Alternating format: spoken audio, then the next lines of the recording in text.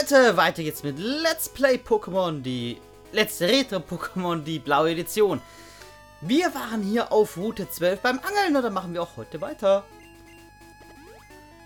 Wie gesagt, beim letzten Mal kommen die ganzen Angelfolgen. Und da hat sogar schon was angebissen. Ein Tentacher.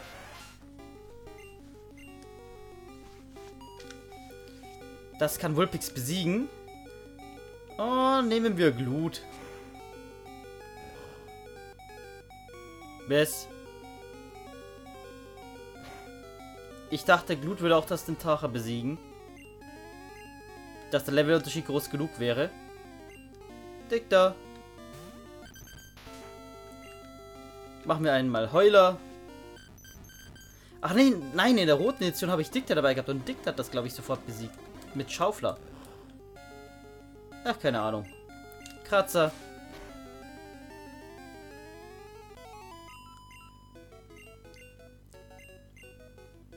Naja.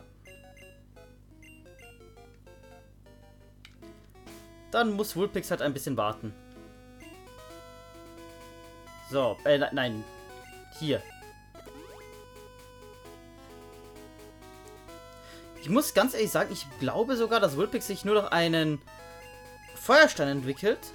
Bin ich mir gerade nicht mehr ganz sicher. Genauso wie Fukano bin ich mir auch nicht mehr so ganz sicher. Ähm, aber da schaue ich dann einfach beim nächsten Mal nach. Denn wenn es so ist, dann würde ich das sowieso, uh, Vulpix und Fukano sowieso so lange leveln, äh, bis sie alle Attacken gelernt haben. Und wenn es... Oh Mann, Mann, der kann ja Blubber. Da hätte ich vielleicht Schaufler machen sollen. Ja, machen wir. Ähm, auf jeden Fall, dann würde ich sowieso, bis sie alle Attacken gelernt haben, leveln. Und wenn... Naja, eigentlich ist es egal.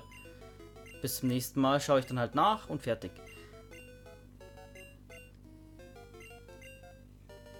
So. Ich habe übrigens mal nachgesehen, es gibt tatsächlich keine Wasser-Pokémon mehr, die nur in einer Edition äh, sind. Es gibt doch vier Pokémon, die es jeweils nur in einer Edition gibt. Jeweils zwei pro Edition.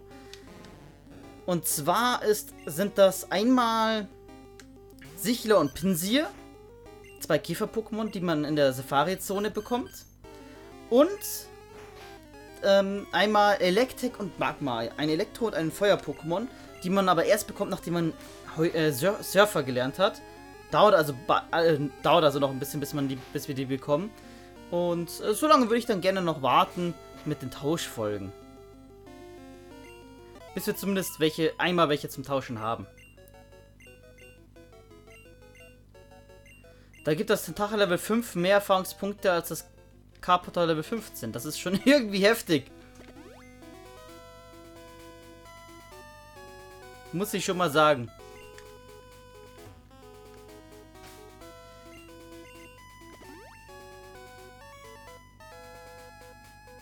Nicht mal ein alter Stiefel. Wie sieht's hier aus? Auch nicht. Und hier?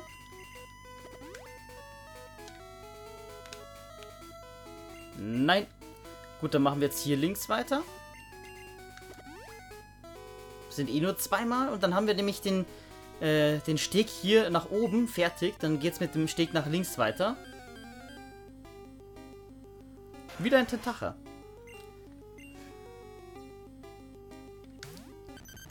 Da mache ich jetzt aber einfach nur einen Kratzer.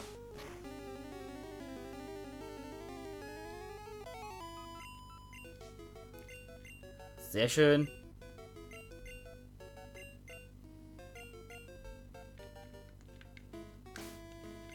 So, Superangel. Nichts. Gut, dann geht's jetzt hier weiter.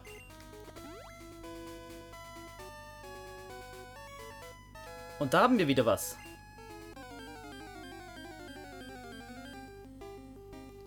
Ein Carpador.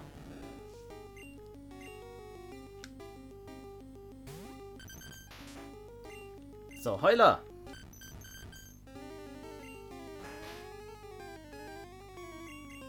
Und dann Kratzer. Okay, das dauert ein bisschen länger. Boah, der macht einen Volltreffer. Das ist doch fies. Aber wir auch.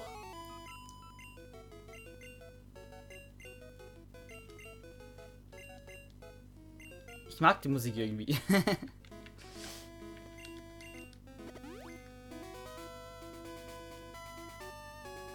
Nicht mein alter Stiefel. Geht doch schnell voran, oder Leute? Ah, hier hat wieder was angebissen. Es gibt noch ein Pokémon, das man laut äh, PokeWiki hier fangen kann auf Route 12, das wir noch nicht gefangen haben. In beiden Editionen haben wir das noch nicht gefangen. Da bin ich gespannt, wann wir es angeln werden. Ansonsten angeln wir es halt irgendwann mal an einer anderen Stelle.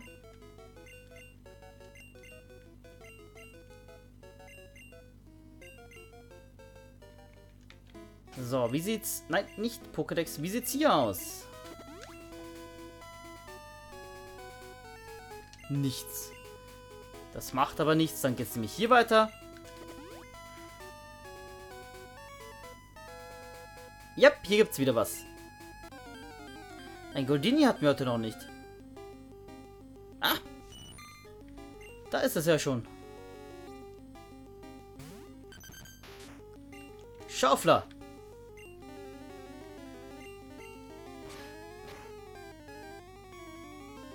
Und weg. Dick, der erreicht Level 23. Hurra!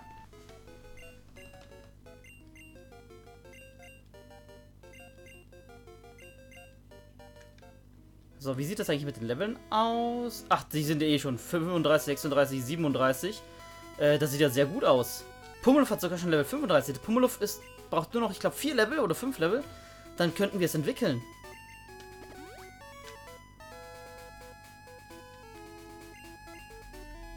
Also Pummeluff ist auch bald soweit. Und wisst ihr, was das Tolle ist? Wenn Pummeluff dann alle attacken kann und entwickelt ist, dann könnten wir es sogar in die Pension stecken. Das wäre mir vollkommen egal. Bis es dann Level 100 hat. Das wäre doch toll, oder? Dann hätten wir Pummeluff schneller auf Level 100. Das wäre dann wahrscheinlich sogar unser erstes auf Level 100. Ähm, denn ich glaube, es würde schneller in der Pension schneller Level 100 erreichen als Turtok durch unser Training hier, durch unsere Kämpfe. Aber naja.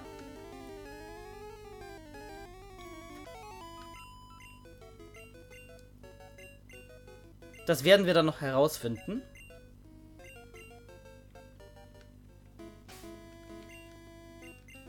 So, jetzt geht's hier weiter nach oben.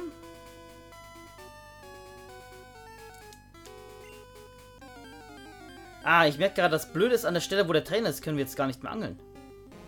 Das hätten wir nur gekonnt, nach, direkt nach dem Kampf mit ihm. Naja, Pech gehabt. Heuler!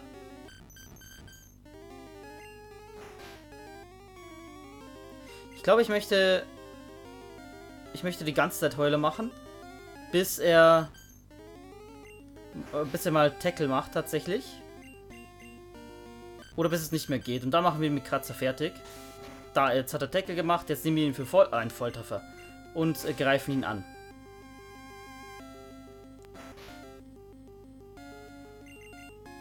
Aber warum machen die Carpadore dauernd Volltreffer mit ihrem Tackle? Ja gut, wir aber auch irgendwie. Mit jetzt erst einmal ein Volltreffer, so ungefähr. Von zwei Attacken gegen die Carpadore.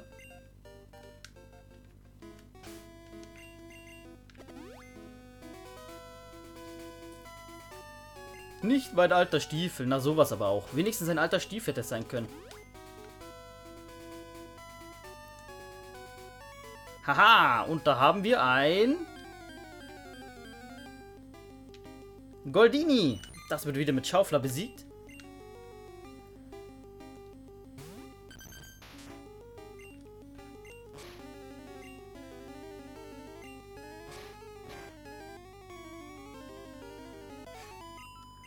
Geschafft.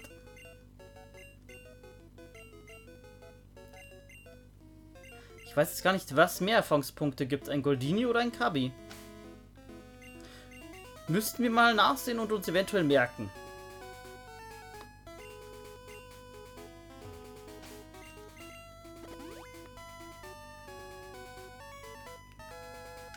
Vielleicht kommt er jetzt ein Krabi. Ich habe mir die 119 von Goldini gemerkt. Und die 19 pro, ähm, pro P-Teiler. Aber das ist nur ein Carpador. Schade. Heuler.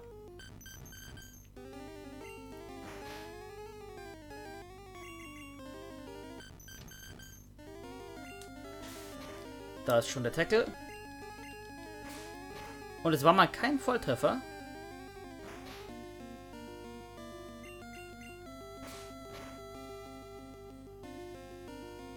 Aber von uns auch nicht.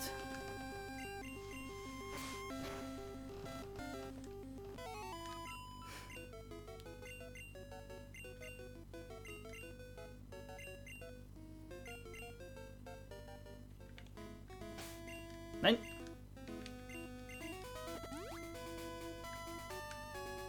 Und es kommt eins. So, ein Krabi wäre nett. Ein Carpador. Mal wieder.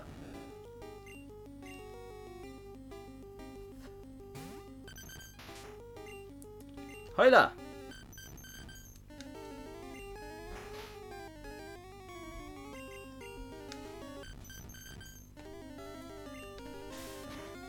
Da ist der Tackle.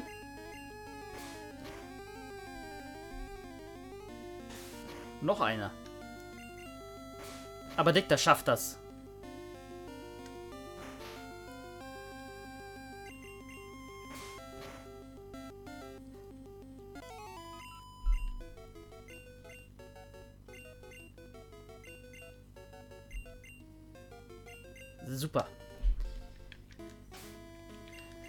Dann hier weiter. Danach machen wir, wenn wir den Steg entlang fertig sind, machen wir dann noch dieses um dieses Viereck rum. Da. Und dann sind wir weiter nach oben. Tentacha.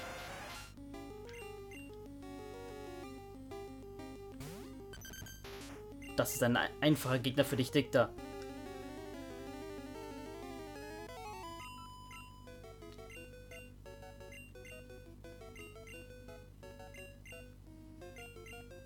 In der roten Edition hat sich übrigens auch noch kein Pokémon durch den EP-Teil entwickelt, aber ich bin gespannt, wann es das erste Mal passieren wird.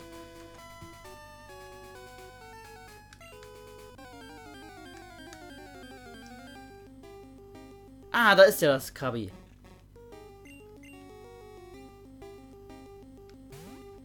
Mach es fertig, Dicker.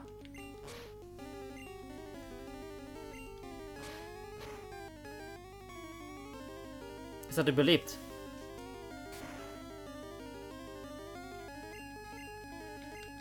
Aber jetzt, dick da.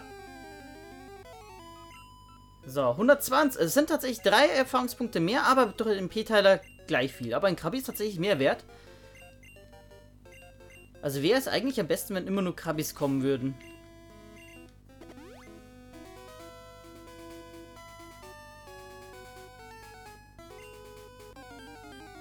Aber meistens kommen irgendwie Carpadore.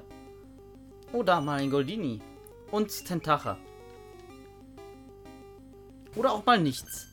Goldinis und Kalbis sind heute irgendwie selten.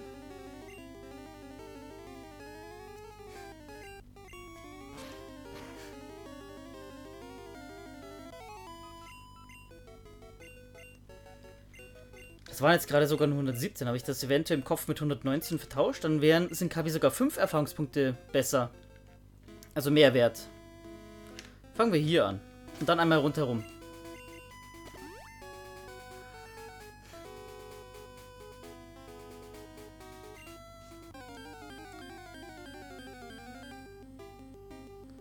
Tentacher.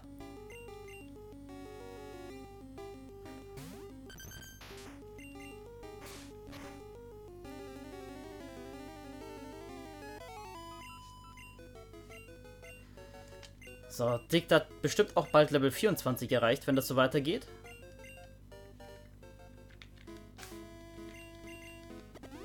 Vielleicht noch in dieser Folge.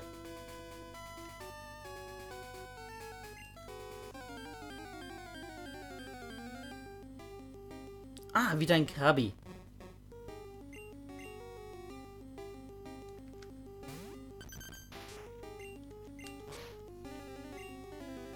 Hoffentlich ist es sofort besiegt. Ja, sehr schön. Dann war das Krabi vorhin wohl eine etwas stärkere Sorte. Oder hat entsprechend andere Statuswerte.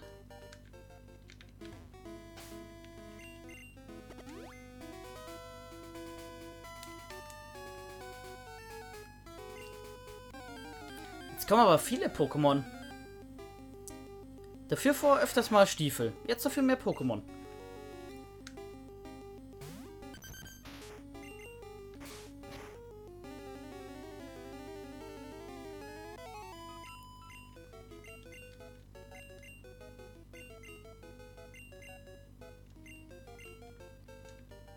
Geschafft. Dann hier weiter. Ah, jetzt wieder ein Stiefel.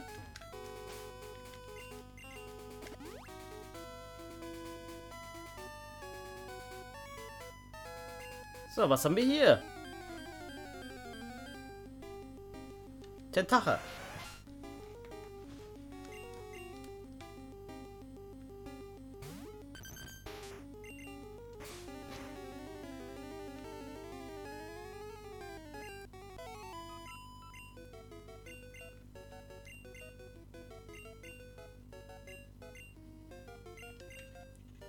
Wieder kein Levelabstieg. Aber der kommt noch.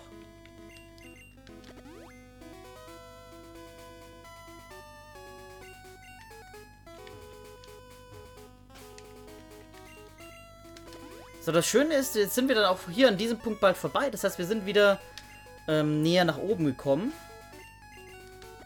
Denn ich glaube, jetzt haben wir noch ungefähr den halben Weg ge äh, geschafft. Nach Lavendier. So ungefähr, glaube ich.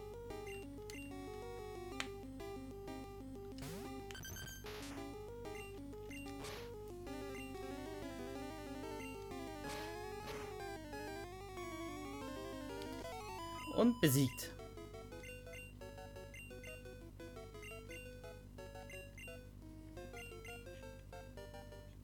So, jetzt sind wir hier auch einmal rum. Ich möchte jetzt erst noch mal hier kurz die beiden angeln.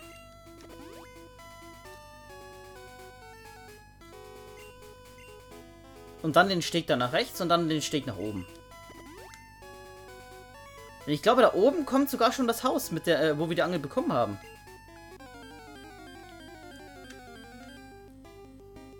Ein Krabi.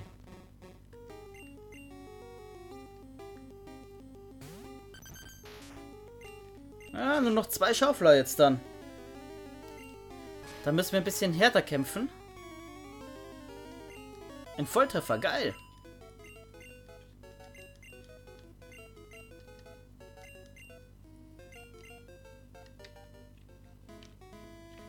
So, angeln wir von unten erstmal.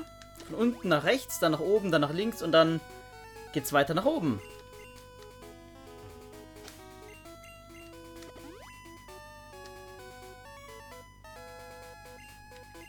Oh, hier scheint es nicht viele Pokémon zu geben.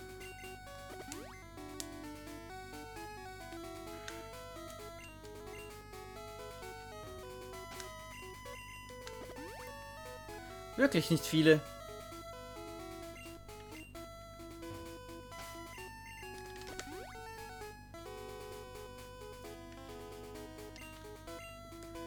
So, Leute. Ich glaube, hier mache ich jetzt auch Schluss. Die Folge ist aus. Wir sehen uns dann morgen wieder in der roten Edition oder übermorgen wieder hier in der blauen Edition. Ciao!